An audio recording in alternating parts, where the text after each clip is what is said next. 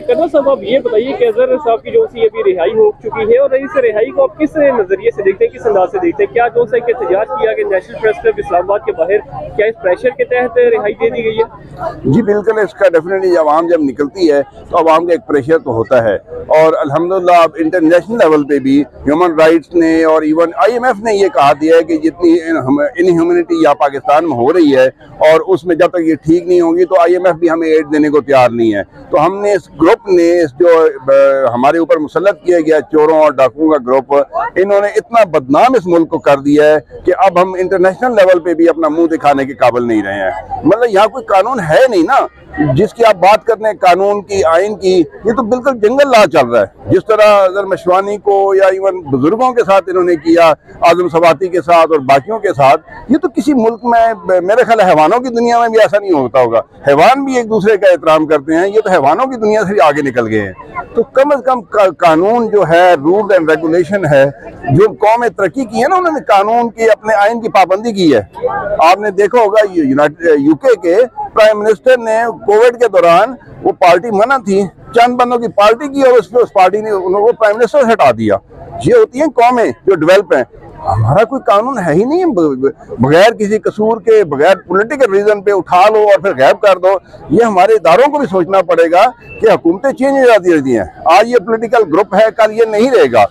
इमरान खान को हम इसलिए सपोर्ट करते हैं कि वो अब भी, इन हालात में भी, वो रूल एंड रेगुलेशन की बात करते हैं। इमरान खान हमारा ऐसा लीडर है जिन्हें साढ़े तीन साल कोई इरेगुलरिटी नहीं की है। और आज भी वो बात करते हैं तो सिर्फ़ रूल एंड रेगुलेशन की। आज अगर वो आवाम को इशारा करे ना तो अवाम जिस तरह चार्ज बैठी हुई है। मैंने 18 तारीख को, मैं खुद वहाँ पे मौजूद था फ्रंट लाइन पे खान साहब की गाड़ी के साथ मौजूद था।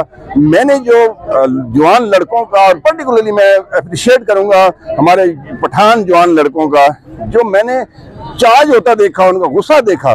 पता नहीं हमारे इदारे क्यों नहीं देख रहे उसको? मैं आर्मी में रहते हुए मैंने ऑपरेशन एरिया में भी सर्व किया है, पिशावर सर्व किया, वाना ऑपरेशन के दौरान, सवात ऑपरेशन के दौरान मैंने कोयटा चार साल भुट्टी ऑपरेशन के बाद सर्व किया है। तो थोड़े से चंद एक जो नाराज़ लोग थे हमारे अपने, उनका मुकाबला करना बहुत लाखों में आर्मी डिप्लॉय करते हैं, तब भी आप नहीं कर सकते।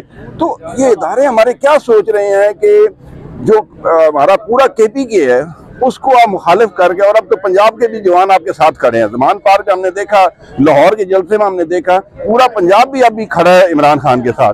तो हमें इतनी सारी जवान जनरेशन को छोटे छोटे बच्चे खड़े हैं खान के साथ।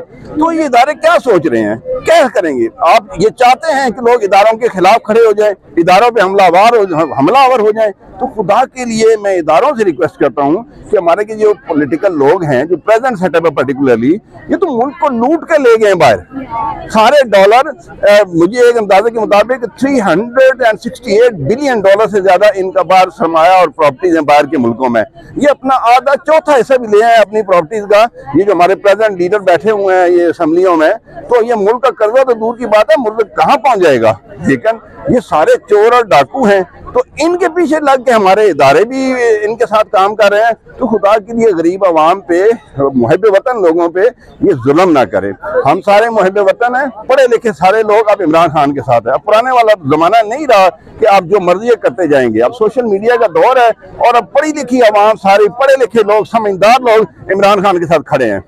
जबर और बरबरीत के दौर के पीछे आप क्या सियासी मकासद देख रहे हैं कि आने वाले वक्त में मौजूदा जो सियासी कौन से अपने सियासी गोल को अचीव करना चाह रही है नहीं, इसमें तो कोई सियासी गोल नहीं है। मुल्क को तबाह कर रहे हैं बेसिकली इंटरनेशनल लेवल पे क्या इंप्रेशन हमारा जा रहा है? ये साढ़े तीन साल की इमरान खान की हुकूमत है। मैं एक हमारे ग्रीन पासपोर्ट का इंप्रेशन बना था। इससे पहले भी मैं इंटरनेशनल बहुत ट्रेवल करता रहा हूँ। मैं यूनाइटेड नेशन में मैंने सर्व किया है। बाहर हमारे ग्रीन पासपोर्ट की बिल्कुल इज़्ज़त नहीं थी, कोई वैल्यू नहीं थी। फिर ये इमरान खान आया इसकी खुद लोग इज़्ज़त करते थे, बाहर के लोग इज़्ज़त करते थे। कुछ पाकिस्तान का स्टेटस बेहतर हुआ। अब फिर देख लें, अब करप्शन में भी दुनिया के बदतरीन मुल्कों में हमारा नाम शामिल हो गया है। हर लिहाज से अब बदतरीन मुल्कों में एक साल में शामिल हो गया। और मुल्क के अंदर देखो, गंदा आटा गरीबों को दे के जाने जा रही है गरीबों की, और गंदे आटे पे लोगों को लगा दिया है। वो पुराने जमाने की इनकी जो आटे हैं, ठीक है? लेकिन अल्हम्दुलिल्लाह, लोगों में इतना शऊर आ चुका है कि आटा इनसे ले गए और उनसे जब मीडिया वाले पूछते हैं तो वो कहते हैं वोट इमरान खान को देंगे। तो ये नज़र आना चाहिए हमारे इदारों को कम अज कम। इदारों ने हमेशा रहना है। ये पोलिटिकल लीडर आज हैं कल नहीं है। तो इन पे पीछे ना लगे। मरियम नवाज़ का और इमरान खान साहब का सियासी मुकाबला किसी भी एंगल से बनते सर? और नहीं जी ये क्या मुकाबला आप कर रहे हैं? ये तो कोई मुकाबला ही नहीं है। कहाँ इमरान खान और कहाँ मरियम नवाज़? मरियम नवाज़ ने किया क्या है? और एक हम देहाती लोग हैं हम गाँव के रहने वाले हैं। किसी की बेटी अगर भाग जाती है अपनी बाप की इज़्ज़त को दौ पे लगा के अपने खानदान की इज़्ज़त को दौ लगा के पूरा खानदान उसको मुँह नहीं लगाता सारी उम्र। इसका क्या बेचारी का करेक्टर और क्या कहना क्या वो पिद्दी और क्या पिद्दी का शोरबा? इमरान खान कहाँ और ये बेचारी मरियम कहाँ? कसूर जलसे को मीनार पाकिस्तान जलसे के साथ कंपेयर किया जा रहा है क्या दोनों जलसों के दरमियान सर कोई कंपैरिजन वो कसूर जलसे की मैंने कुछ पिक्चर देखी थी तो वो एक छोटी सी पिक्चर को छह दफ़ा लगा के ना तो शाव किया गया कि ये लोग हैं। और मीनार पाकिस्तान का कहा ये मीनार पाकिस्तान भी एक जलसा करके देख ले फिर इनको वक्त पता चल जाएगी कि जी इमरान खान किस लेवल के लीडर और आप किस लेवल के हैं। क्या पाकिस्तान की तारीख में बेनजीर एक ही थी? आने वाले वक्त में कोई दोबारा ऐसी वुमेन लीडर पैदा हो सकती है? और नहीं जी बड़ा मुश्किल है। बेनजीर भी अपने बाप जुल्फकार अली भुट्टो को लोग बहुत इज़्ज़त करते थे। वो भी एक लीडर थे। ठीक हो गया। उन्होंने भी मुल्क को नुकसान बड़ा पहुँचाया है। इंडस्ट्री को नेशनलाइज करके और बहुत सारी चीज़ें पाकिस्तान दो टुकड़ों में हुआ, भुट्टो की वजह से हुआ, लेकिन फिर भी उसको हम लीडर कुछ मानते हैं, ठीक है? वो किसी लेवल के लीडर थे भुट्टो, और उसकी वजह से उसको कैश करा गई बेनजीर ठीक है?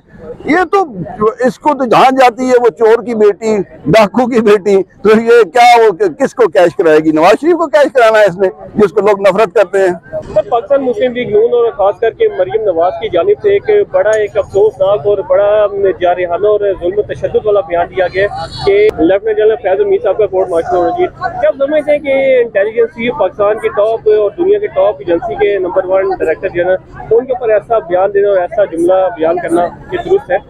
असल में अब ये पागल हुए हुए आवाम का रिस्पॉन्स देख के, जिस दिन इन्होंने इमरान को उतारा था ना पाकिस्तान की हिस्ट्री में पहली दफ़ा ये हुआ कि बगैर काल दिए लोग लाखों में निकल आए हर शहर में। तो ये चीज़ देख देख के ये पागल हुई हुई है। नाम है जनरल फैज का, नाम ले रहे। हैं जनरल फैज जैसा बेटा माँ ने जमा कब है? जब तक वो था, उसकी एक कप चाय का उसने पिया था अफ़गानिस्तान में जाके। और वो एक कप चाय का पूरी दुनिया में मशहूर हुआ था। और आईएसआई की लोग वो इज़्ज़त करते थे पाकिस्तान के अंदर। वो रिस्पेक्ट थी। सोशल मीडिया पे हम आईएसआई का जो अब देखा है वो जनरल फैज के वक्त में देखा। है और अब हालत देख ले, अब क्या हालात है हमारे। तो जनरल का मुकाबला ये क्या कर सकते हैं? कोर्ट मार्शल की क्या बात करते हैं? उस बंदे ने तो मुल्क को बहुत बहुत सपोर्ट किया है। उस जैसा बंदा माँ क्या पैदा करेगी?